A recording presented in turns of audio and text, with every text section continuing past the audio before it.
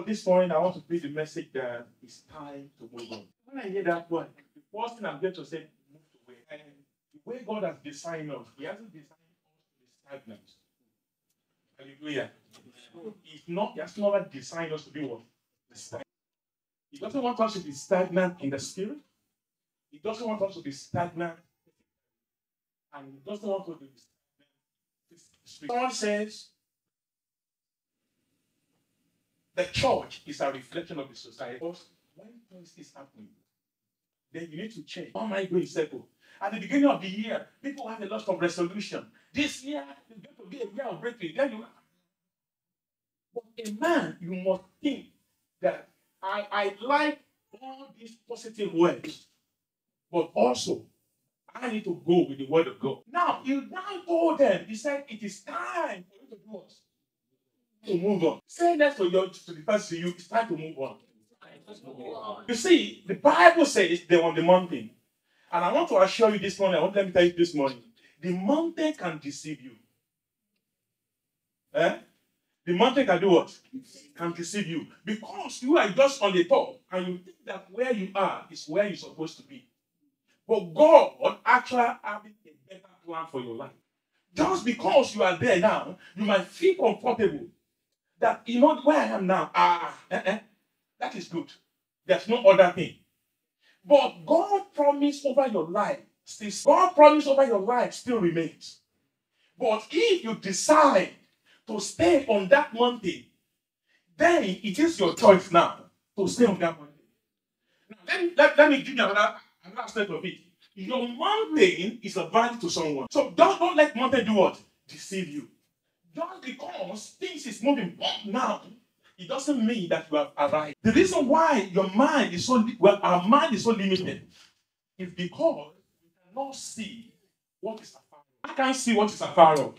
And what I focus on now is what I can see. So then what I can see is limited me to where I am now.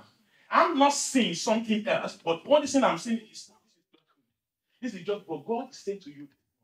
Sometimes you are just in that place. You just feel like, you know what? I people just when I hear the word give, automatically people think, I'm not talking of that. But it's time for you now to do what? To stand up of me being a beggar is now for time for me to do what? To go and stand up from the mountain where I am. It's time for me to do what? But when you are working in the dynamics of God, nobody will understand.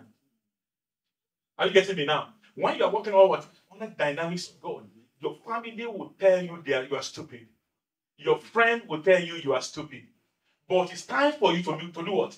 To move you can have all the promise of God in your life, but if you still have rebellion in your spirit, nothing will happen to you. You will just be a bystander, or you are going to just be what? A spectator. One thing I saw that Moses did there is there's what we call re-evaluation.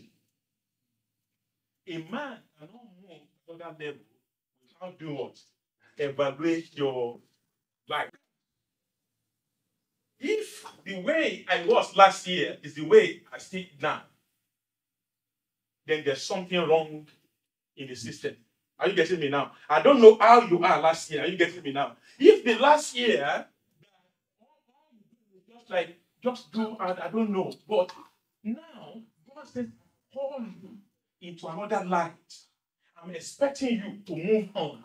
Because every stagnant water is going to smell. If there's no reevaluation, what is making you to feel miserable?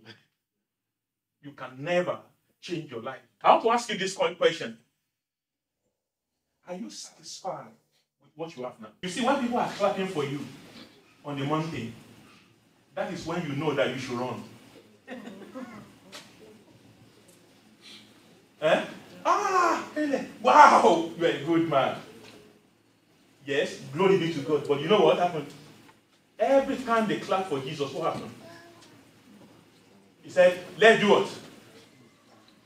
Let's move away. He want us to be responsible. He wants us to do what? Move on. Not sit down and nothing will happen. The second thing he told them is look, remember the promise of God, what? In your life. So anytime you are going to move on, you've got to go back for the, what? The promise of God. Now, question I want to ask me now this morning is you cannot ask me to move on. The question I should ask myself is what is keeping you where you are? Eh? What is keeping you where you are at the moment? Because my mountain might not be your mountain, isn't it? Some people's mountain is an anger. Some people's mountain is jealousy. Some people's mountain is envy. Some people's mountain is laziness. Some people's mountain is gloom. People tell a lot of stories.